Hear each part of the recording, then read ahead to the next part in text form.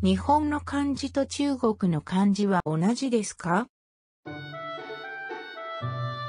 中国語の漢字には反対字と簡体字という2種類の漢字があります。日本の常用漢字は約2100字あります。約6割の漢字は中国語の漢字と同じです。しかし、同じ漢字だが、同じ意味だとは限らないです。例えば、娘、ゆ。もちろん、同じ意味を持つ漢字はたくさんあります。これは日本の常用漢字表の一部です。約6割の常用漢字は中国語と同じで意味も似ています。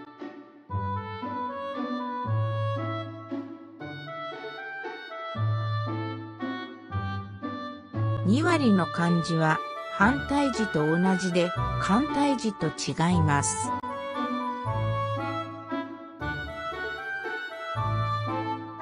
6.5%の漢字の形がそれぞれ異なっています。